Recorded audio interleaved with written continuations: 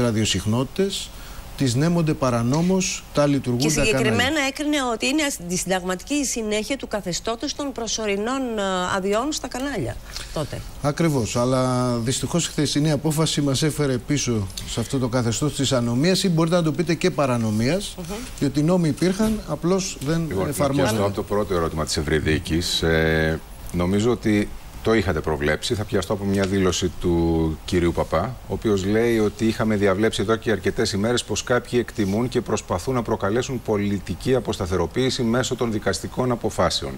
Ε, αυτό υποδεικνύει νομίζω ότι είχατε ψηλιαστεί ότι δεν θα Δεν είναι η φαίνεται, απόφαση ε, μια τέτοια ναι. που να ευλογεί ε, το συγκεκριμένο νόμο. Τώρα, επί της ουσίας, επειδή η κατηγορία που προκύπτει από τη δήλωση του κυρίου Παπά είναι βαριά, ε, υπονοεί, σαφέστατα μάλλον το λέει, μιλάει για μαγειρέματα, μιλάει για διαπλοκή μεταξύ πολιτικών και δικαστών.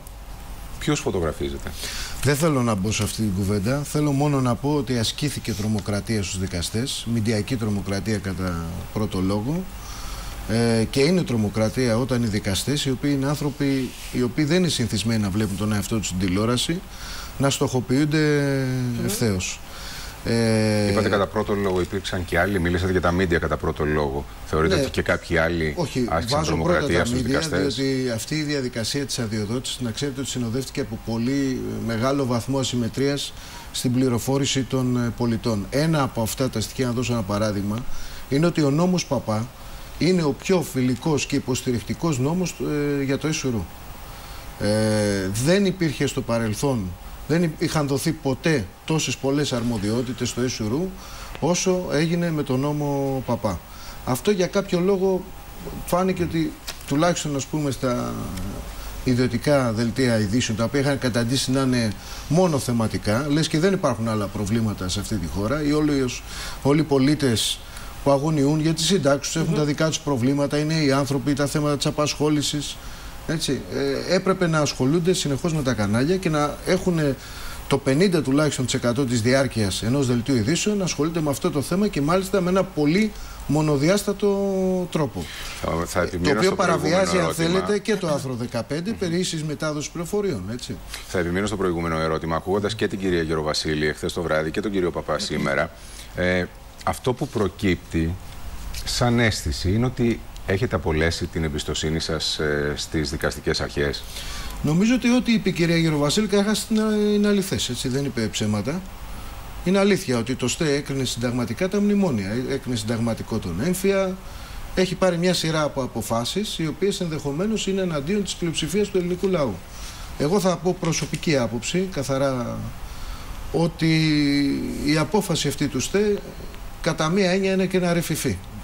Έτσι, ένα ρεφιφί. Δηλαδή παίρνουν χρήματα που προορίζονταν για αυτούς που το έχουν πολύ μεγάλη ανάγκη και τα δίνουν στους έχοντες και κατέχοντες. Δεν θα μπορούσαν αυτά τα χρήματα, συγγνώμη κύριε Κρέτσο, να βρεθούν από αλλού; Θα πρέπει να είναι Θα μόνο από μπορούσαν εκεί. και να σας πω κάτι, το γεγονός ότι εμείς μαζέψαμε 258 εκατομμύρια είναι ένας σπουδαίος αριθμός για μια διαγωνιστική διαδικασία, αλλά προφανώς δεν μειώνει το χάσμα ούτε μεταξύ φτωχών, ούτε μεταξύ πλουσίων, ούτε λύνει όλα τα προβλήματα της κοινωνικής πολιτικής που ε, έχει η χώρα μας όχι μόνο τώρα, κατά παράδοση. Όμως αυτή η ιστορία και ο τρόπος ο οποίος διοχετεύτηκαν αυτά τα κονδύλια για συγκεκριμένες δράσεις στέλνει ένα πάρα πολύ καθαρό σήμα ότι όλοι όσο ισχυροί και αν είναι θα περνάνε από το ταμείο.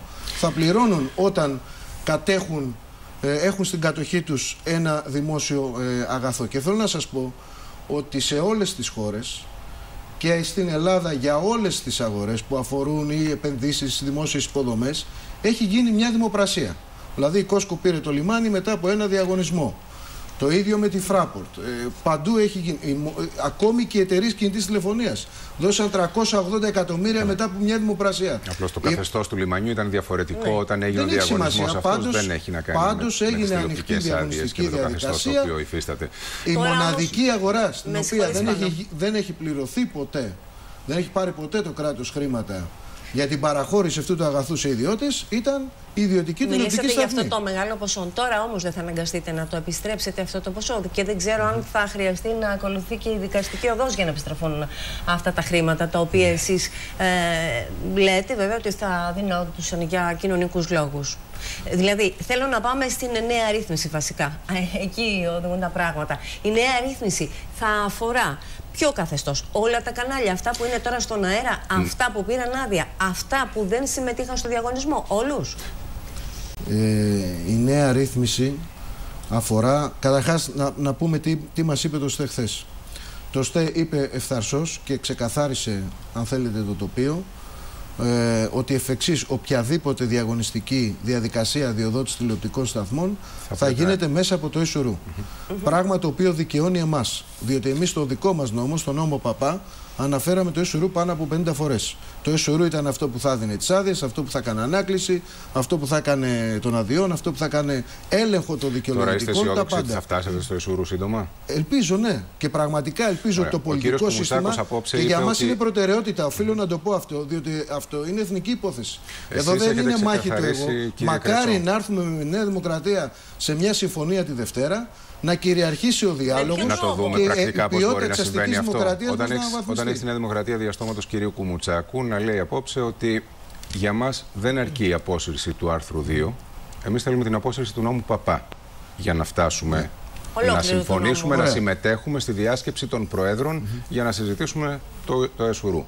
Αυτό πώς θα το διαχειριστείτε εσείς, θα, αποσύρετε, θα αποσύρετε τον νόμο; Να αποσύρουμε ένα νόμο γιατί ο κ. Κουμουτσάκος έχει το σκεπτικό της απόφασης του ΣΤΕ. Αυτή τη στιγμή το μόνο το οποίο ξέρουμε και αυτό είναι μέσω διαρών. Έτσι. Δεν είναι, είναι επίσημη ανακοίνωση του Συμβουλίου της Επικρατεία. Απλώς επειδή έχει πάρει τέτοια έκταση, ας πούμε, έχει διαδοθεί τόσο πολύ, δεν νομίζω ότι μπορεί κάποιος να, να πει ας πούμε, ότι δεν ε, ισχύει. Αλλά δεν ξέρουμε αν έχει προσβληθεί κάτι άλλο πέρα από το άρθρο 2α, το οποίο αφορούσε τη μεταβίβαση αρμοδιότητας της διαγωνιστικής διαδικασίας στη Γενική Γραμματεία. αν έχει προσβληθεί μόνο αυτό, υποθετικό το ερώτημα. Λοιπόν, και επιμείνει η Νέα Δημοκρατία στη στάση αυτή, στη δήλωση που έχουμε απόψε από τον κύριο Κουμουτσάκο. Εσείς πώς θα το διαχειριστείτε Εγώ δεν νομικά, μπορώ να το νομικά αυτό. Νο... Εγώ δεν μπορώ να το κατανοήσω αυτό, διότι σας λέω και πάλι ότι είναι ο πιο φιλικός νόμος, το πιο φιλικό νομοθέτημα για το ΕΣΟΥΡΟΥ που έχει παραχθεί ποτέ στη χώρα.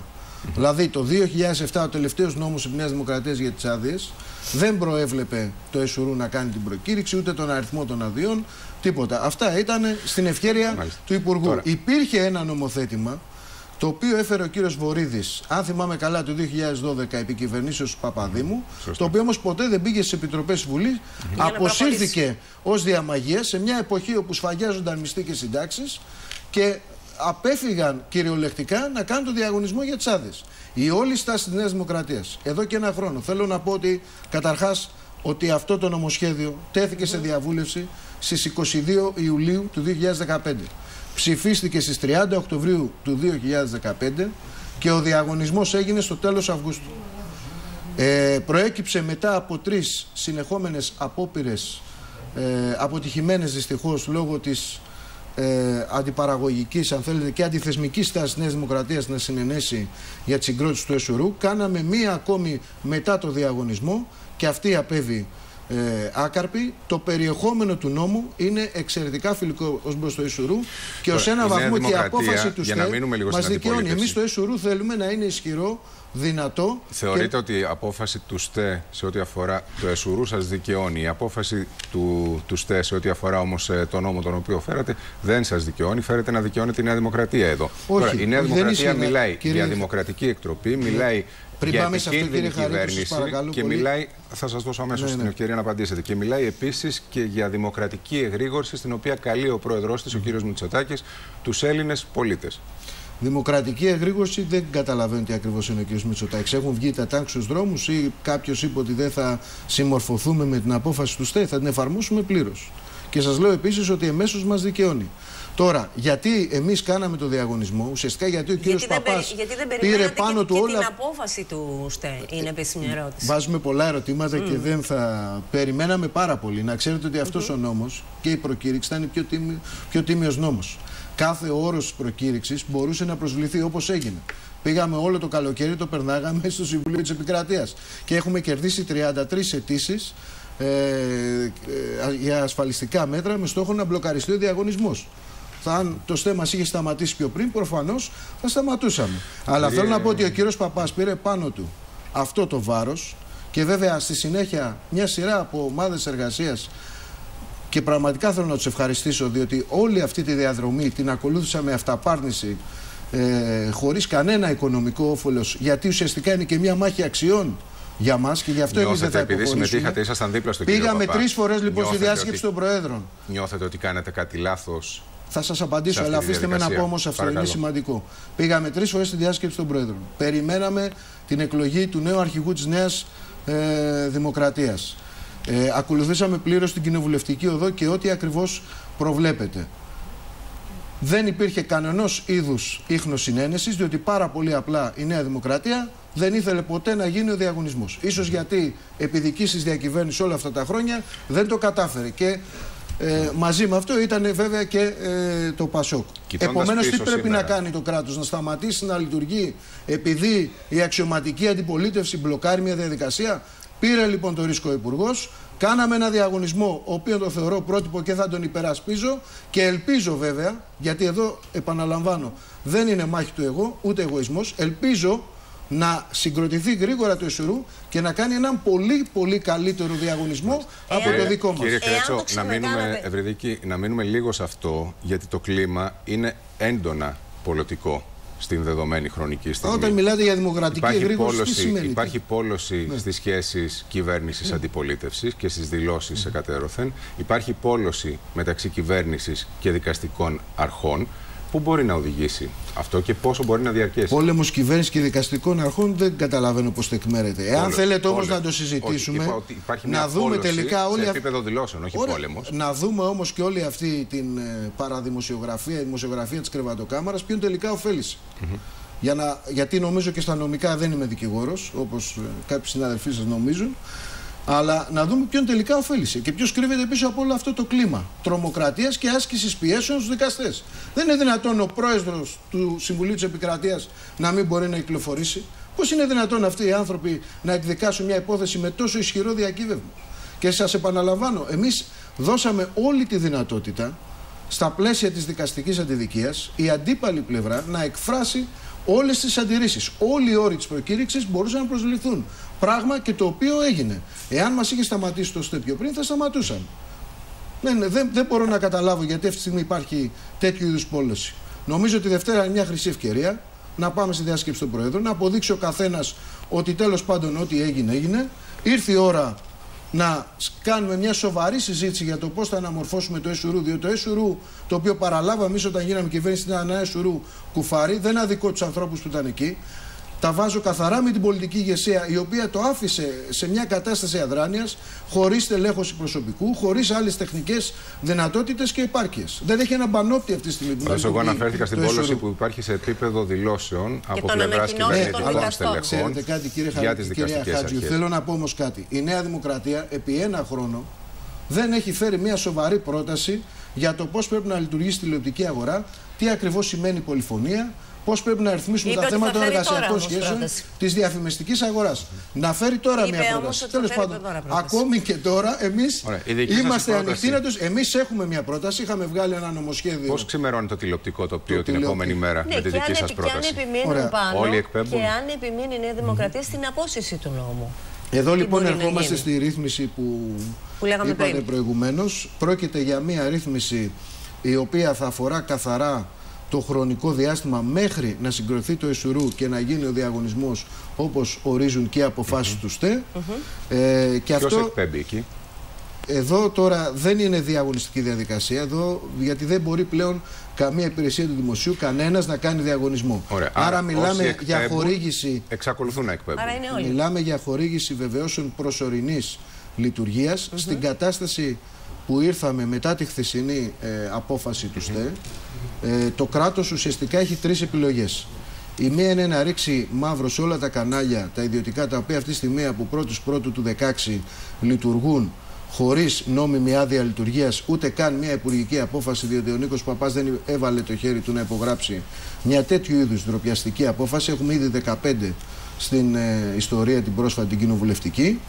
ε, το δεύτερο ε, σημείο είναι ε, αντί για μαύρο να μην γίνει τίποτα και επομένως να συνεχίζουν όσοι έχουν χαρακτηριστεί στο παρελθόν όχι από το δικό μας χώρο ως δαβατζίδες αλλά από άλλους χώρους ε, της ενημέρωσης να συνεχίζουν να λειτουργούν και να υπάρχει μια αίσθηση αδικίας σε μια εποχή δύσκολη όπου οι απλοί εργαζόμενοι και μεγάλη μερίδα του, του ελληνικού λαού υποφέρει και δυσκολεύεται και η τρίτη λύση την οποία προτείνουμε είναι η λύση του τσάμπα πέθανε.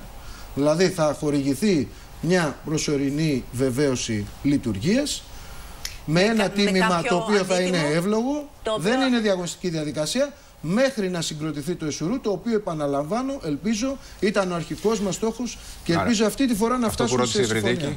Ποιο είναι το αντίτιμο; Το αντίτιμο είναι αυτό που ακούμε γύρω στα 6 με 7 εκατομμύρια. Κοιτάξτε, αυτό ε, θέλω να είμαι πολύ ειλικρινής μαζί σας. Δεν έχει καθοριστεί ακόμη. Θέλω όμως να πω κάτι ότι παρόλο που η διαγωνιστική διαδικασία η οποία κατέπεσε χθες σωστέ, ε, κηρύχθηκε άκυρη, δεν, ε, ως μη γενόμενη, ε, εν έχει άλλου είδους πολλαπλασιαστικά αποτελέσματα. Διότι δηλαδή; για πρώτη φορά καταλάβαμε ότι υπάρχουν και άλλοι επενδυτές που ενδιαφέρονται να μπουν στον χώρο. Για ε, λίγους δύο μήνες ίσως λιγότερο καταλάβαμε ότι φεύγει η χώρα όσον αφορά την μοντέρνα τηλεοπτική της ιστορία από ένα φύγημα αεροπειρατείας, ένα φύγημα που έχουμε τέσσερα σοβαρά επενδυτικά σχήματα που μπαίνουν στον χώρο της τηλεόρασης και ένα φύγημα βέβαια ότι όταν το κράτος και οι υπηρεσίες του λειτουργούν συντεταγμένα μπορούν να παράγουν εξαιρετικά ε, Κύριε Κρέτσα, να το δούμε λίγο αυτό. Αυτή τη στιγμή θα μείνουν τα κανάλια τα οποία εκπέμπουν θα εξακολουθήσουν να εκπέμπουν. Δηλαδή, θα μείνουν όσα κανάλια πληρώσουν αυτό το αντίτιμο. Ο Α, και ε, επίσης το Star, ναι. Μπορεί να δεν πήραν άδεια. Θα, θα εξακολουθήσουν να εκπέμπουν. Από εκεί και έπειτα, ε, τι θα γίνει με αυτούς που πήραν άδεια, θα τους δώσετε τα λεφτά πίσω, αλλά θα μπορέσουν να εκπέμψουν και αυτοί πληρώνοντας το αντίτιμο το οποίο θα ορίσετε; Ναι, θα μπορούν να εκπέμπουν όσοι φέρουν τα δικαιολογητικά που απαιτούνται, τα οποία κάποια είναι αρκετά βασικά. Άρα ο κύριος Μαρινάκης, ο κύριος Σαββίδη. αν μπορεί να πληρώσει και έχει τραπεζική, φορολογική και ο κύριος Καλογρίτσας και είναι ανοιχτή η αγορά. Δεν καταλαβαίνω γιατί κάνουμε διακρίσεις, επειδή το αναφέρεται και αυτό. Και κάποιο καινούριο προφανώς θα μπορούσε να μπει Και κάποιος καινούριο θα μπορούσε να πει. Εδώ βέβαια. Εσείς είχατε βάλει ένα πλαφόν, θα ναι. σας πω γιατί σας ρωτάω. Ναι. Είχατε βάλει ένα πλαφόν ότι μέχρι τέσσερις μπορούμε να εκπέμψουμε και να εκπέμψουμε σωστά, να εκπέμψουμε ψηφιακά, να είμαστε σε αυτή την πλατφόρμα όπως πρέπει να είμαστε. Δεν είχαμε πει Και να έχει και ένα, και ένα πλαίσιο βιωσιμότητας αυτό το μέσο το οποίο συζητάμε. Ε, αυτή τη στιγμή μιλάμε για πολύ περισσότερα κανάλια. Ναι. Η πλατφόρμα γιατί τα σηκώνει αυτά; Έχετε δίκιο στο ερώτημα που βάζετε και νομίζω ότι τώρα θα αρχίσουμε να κάνουμε πολλά ερωτήματα και να σκεφτόμαστε τελικά αν ο αριθμός 4 ήταν ένας καλός αριθμός ή τόσο κακός γιατί δαιμονοποιήθηκε πάρα πολύ από την ε, πλευρά των καναλαρχών. Ε, ε, εμείς δεν είπαμε ότι μέχρι 4 HD κανάλια, διότι μιλήσαμε για HD, για high definition, υψηλή ευκρίνεια Συγγνώμη για, το, για την αγγλική ορολογία. Ε, δεν είπαμε ότι εκεί εξαντλείται το φάσμα, το διαθέσιμο. Όμως λάβαμε υπόψη μας πολύ σοβαρές, ε, σοβαρά ζητήματα που αφορούν την τηλεπικοινωνιακή πολιτική της χώρας όπως είναι το δεύτερο ψηφιακό μέρισμα, το οποίο μειώνει το διαθέσιμο φάσμα. Και θα ήταν εκλοπή από μέρους μας και απιστία σε βάρο δημοσίου να μην δοθεί το δεύτερο ψηφιακό μέρισμα πριν το 2019, διότι από αυτό και θα ενισχυθεί η οικονομία μέσα από την ασύρματη ε, τεχνολογία, μέσα από νέες ε, τεχνολογίες 5G. Δίχως να είμαι ειδήμων, και βέβαια δίχως να γνωρίζω τα τεχνικά ναι. όπως τα περιγράφετε. Το, όχι, το ερώτημά σας είναι κέριο όμως, διότι η Νέα Δημοκρατία, και συγγνώμη, δεν θέλω να πολιτευτώ και να κατηγορήσω τη Νέα Δημοκρατία και να, ε, με έναν τρόπο, ε, πώς να το πω, δεν είναι αυτή τη στιγμή το αντικείμενο, δεν είναι μάχη του εγώ. Έχουμε πολιτικές διαφωνίες. Θα έπρεπε όμως να τις είχαμε λήξει. Είναι εθνικά ζητήματα τι θα κάνεις με τον αέρα της χώρας σου. Αν θα δώσεις το δεύτερο ψηφιακό μέρισμα. Αν θέλεις να έχεις 5G τεχνολογίες στη χώρα σου και γρήγορα. Αν θες να είσαι ένας κόμβος ε, για να μπορείς να προσελκύσει και άλλου είδους Να το θέσω αλλιώς το ερώτημα. Όμως προσήλθε στη Βουλή και στις ε, επιτροπές όταν συζητούσαμε το νομοσχέδιο με απόψη του τύπου το φάσμα είναι απεριόριστο. Επίσης, προσήλθε στη Βουλή με απόψεις του τύπου ότι περισσότερα κανάλια σημαίνει περισσότεροι εργαζόμενοι. Όταν όμως βάλαμε τον ελάχιστο αριθμό εργαζομένων στους 400. Τότε εκεί μας είπαν ότι παραβιάζουμε το διευθυντικό δικαίωμα. Αλλά και αυτό είμαστε στους 400. Παραμένουμε για να πάρει κάποιος την άδεια, θα δώσει τα τόσα εκατομμύρια που θα ζητήσετε, πλάς συν τους 400 εργαζομένους. Άρα μιλάμε για περισσότερους εργαζόμενους των πραγμάτων. Στη ναι. νέα ρύθμιση, κύριε Κρέτσο, ναι. θα υπάρχει αυτή η υποχρέωση από τον νόμο Παπά να υπάρχουν και ο ίδιος αριθμός εργαζομένων; Βεβαίως θα υπάρχει αυτή η υποχρέωση. Απλώς θέλω να πω ότι ο αριθμός 4, ο οποίος δαιμονοποιήθηκε τόσο εύκολα ε, από όσους δεν θέλησαν να, κάνουν το, να ολοκληρωθεί ο διαγωνισμός και από όσους θέλουν να, να λειτουργούν ως βραχίωνα της διαπλοκής ε, σε αυτή τη χώρα θα φανεί πάρα πολύ σύντομα ότι ενδεχομένως πάρα πολλά κανάλια δεν χωράνε, ότι ενδεχομένως δεν χωρούν πολλά κανάλια υψηλής ευκρίνειας και πρέπει να γυρίσουμε στην κανονική ε, ευκρίνεια και ενδεχομένως θα καταλάβουμε σύντομα ότι εδώ μπορεί να έχουμε φαινόμενα τύπου Μέγκα. Όπου επειδή ακριβώς η αγορά είναι δεδομένη ε, σε επίπεδο τζίρου, ε, ο μεγάλος αριθμός καναλιών μπορεί να σημαίνει μη βιώσιμα κανάλια, που σημαίνει μη ανεξάρτητα κανάλια, Άρα δεν εκπληρώνει το συνταγματικό σκοπός. Και βεβαίως είναι... απολύσεις, καθυστερήσεις δεδουλευμένων κτλ.